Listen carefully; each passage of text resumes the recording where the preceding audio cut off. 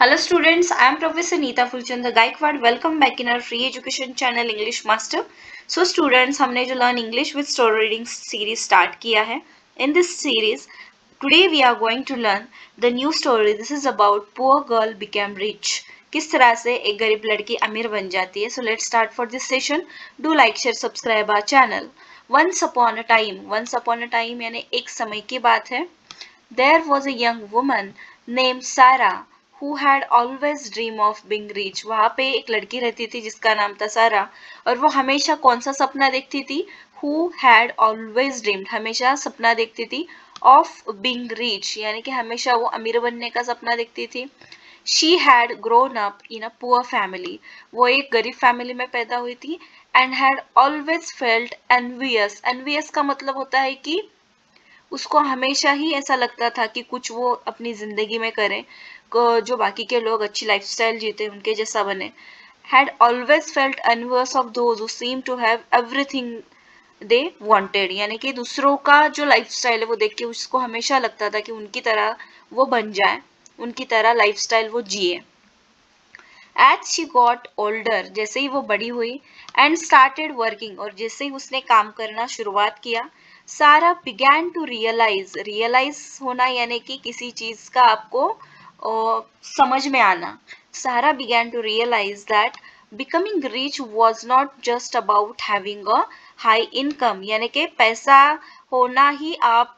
बहुत अमीर हो, ये निशानी नहीं है। यानी कि किसी किसी चीज़ को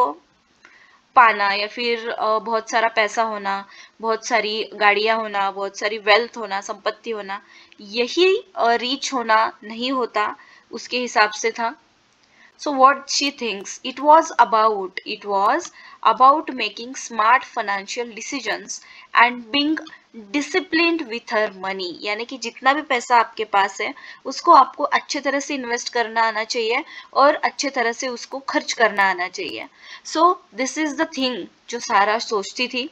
Sara started by creating a budget and sticking to it so उसने क्या शुरुआत किया? उसने अपना बजट तैयार करने के लिए शुरुआत किया कि कहाँ पे कितना एक्सपेंस करना है, कहाँ पे कितना सेविंग करना है और उसी तरह से वो करती रही। She made sure to save a portion of her income each month हर महीने वो अपने कमाई का एक हिस्सा बचा के रखती थी। Even if it mean cutting back on some of her expenses कुछ उसके खर्चों से वो जमा करके रखती थी। She also started investing her money she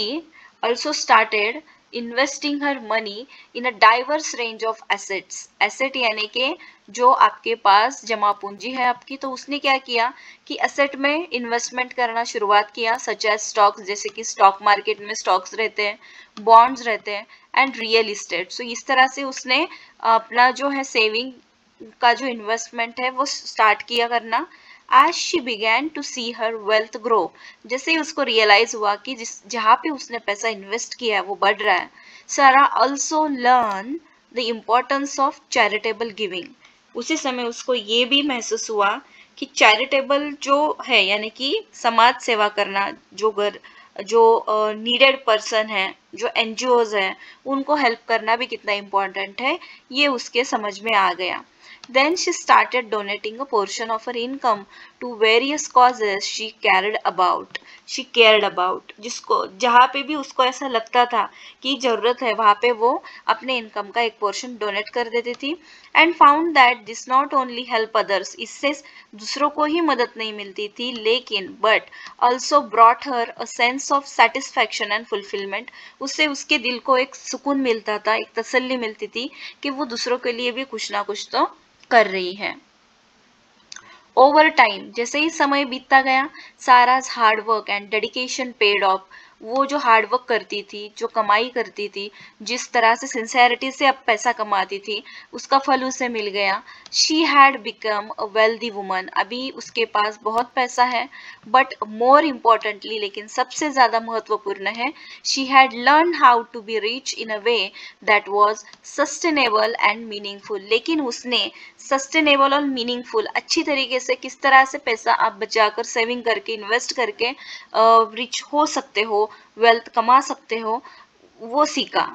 She was able to enjoy the fruits of her labour जो भी मेहनत वो करती थी, उसका फल उसे मिलता था while also giving back to those in need और ज़रूरतमंदों की वो मदद ही करती थी। And she was grateful for the lesson she had learn along the way और इसी तरह से अपनी ज़िंदगी से उसने जो कुछ भी सीखा, उसके लिए वो ग्रेटफुल होना, यानी क्या होना कि किसी के प्रति खुद के प्रति वो क्या थी ग्रेटफुल थी खुद के प्रति उसको बहुत अच्छा महसूस होता था कि वो कुछ ना कुछ तो अच्छा काम कर रही है। There are so many peoples in this world इस दुनिया में ऐसे बहुत सारे लोग हैं who are taking care of their family जो अपने परिवार की केयर uh, करते हैं who are doing social work also जो समाज में जो ज़रूरतमंद लोग हैं, उनकी मदद करते हैं। So this is the way यानी कि रिच होना, यानी कि आपके पास बंगला गाड़ी होना, ये नहीं होता। But you have to know how to invest how to earn and how to earn the respect also पैसा कमाने से ही आप रिच नहीं होते। उसके साथ साथ आप कितनी इज़्ज़त कमा रहे हो, कितनी अच्छी तरीके से आप रह रहे हो। समाज की नज़रों में आपकी क्या अहमियत है, ये चीज़ें भी बहुत महत्वपूर्ण है। आई होप ये स्टोरी से आपको कुछ ना कुछ तो अच्छा सीखने को मिला होगा। Poor girl became rich but in the way of the good things उसने किस, किसी अच्छी तरह से अपना काम किया और अपनी मेहनत से वो एक अच्छी इंसान बन गई और उसने पैसा भी कमाया। ये चीज़ें आपको कुछ ना कुछ तो ज़रूर सिखाएगी। I hope you learn a lot from this story this is a short but sweet story which gives you and more important things which are important for your life also. And yes, of course, english का जो आपका pronunciation है, जो words यहाँ पे use किए जाते हैं तो आप ध्यान रखना कि how I pronounce the words उसी तरह से आप ट्राई करना बातें करने के लिए प्रयास करना and I hope it will definitely boost your English communication skills also so जल्दी ही मिलते हैं नेक्स्ट इंटरेस्ट इंटरेस्टिंग स्टोरी में and yes of course do like share subscribe our channel so take care and bye